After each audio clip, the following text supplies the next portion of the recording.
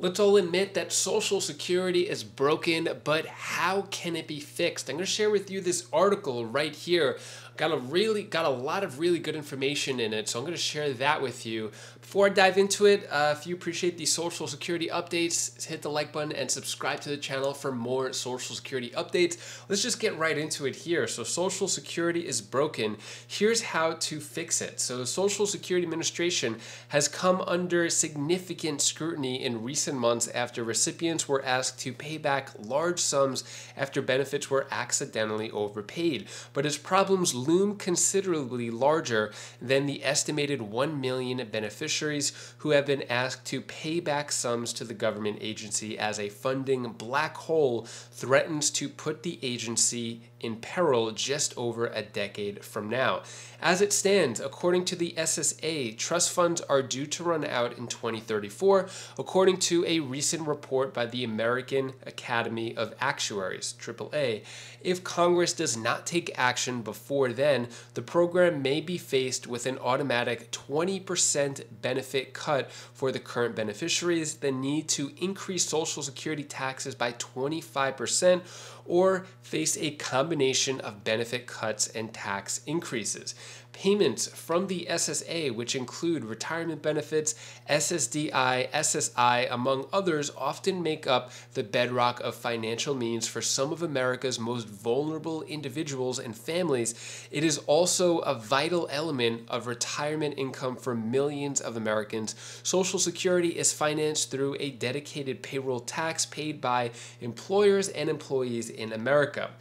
Social Security benefits now exceed Social Security revenues. This comes from uh, someone from a think tank saying that shortfall is being made up by the program trust fund, which accumulated over the past four decades. But unless federal policymakers take action, the trust fund will run out in 2033, and Social Security will be able to pay only 80% of scheduled benefits. But the question is, how?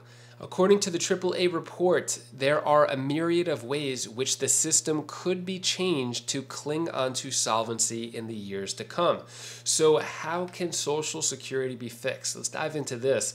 There are two main ways the AAA proposes a fix for the SSA's upcoming funding shortfall. Broadly speaking, they fall under two categories tax increases and benefit cuts remove the income limita- limit for taxation, subjecting all earnings to taxation is one option floated by the group. Currently, Social Security taxes apply only to earnings up to $160,200. It's actually going to be higher in 2024, 168,000. But removing this cap could result in higher contributions from high income individuals. However, as this altercation alone would address only 78% of the projected 2034 shortfall, additional adjustments are recommended by the uh, AAA. Another option is to impose taxes on all income exceeding $400,000 or apply the payroll tax to 90% of total earnings. According to the report, these modifications might address 55% and 36% of the anticipated shortfall, respectively. The AAA also proposes another fix raise the payroll tax rate by 25%. By increasing the Social Security payroll tax from 6.2% to 7.75%, the, uh, for both workers and employers, there could be sufficient funds to cover 100% of benefits in 2034. However, this elevated tax might uh, this elevated tax rate might pose a financial burden for low income workers and may not fully cover future benefit costs, the AAA has said. But increasing taxes is naturally not a popular idea across swaths of the political spectrum being something Republican are ideologically opposed to.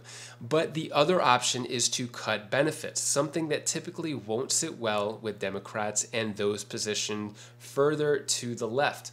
Other options, according to the AAA, include cutting benefits for recipients.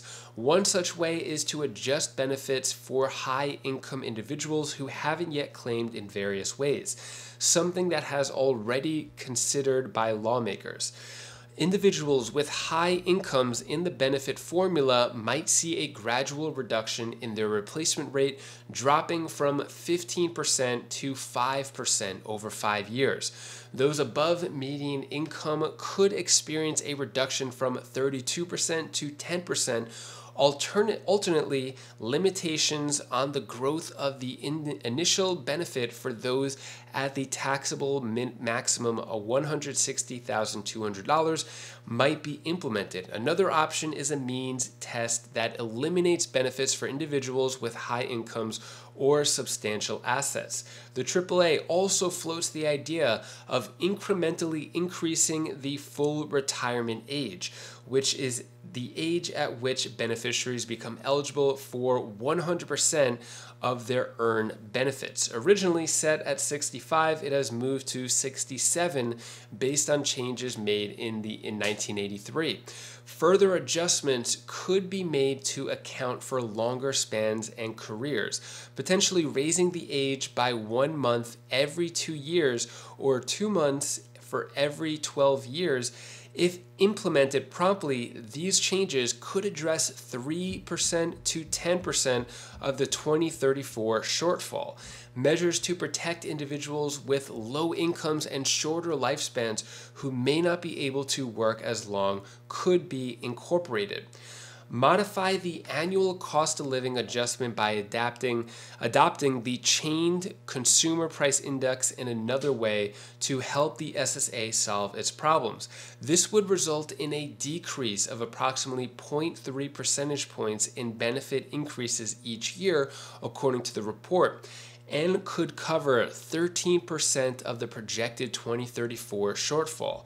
An alternative proposal involving the Consumer Price Index for the Elderly, the CPIE, uh, would increase annual benefit adjustments by an average of 0.2 percentage points, according to the report, with costs rising by about 8% of the 2034 shortfall. According to a poll conducted exclusively for Newsweek I said 28% of those asked strongly agree with the statement the Social Security system needs to be reformed. The poll was conducted on December 8th among a sample population of 1,500 eligible voters in the US. Uh, so yeah, really curious what your thoughts are on this. Uh, it seems that the theme here is to tax the rich more, uh, especially those who are making more than $168,000 for 2024, uh, tax that higher. So I'm really curious, what are your thoughts on that? In terms of how to fix Social Security.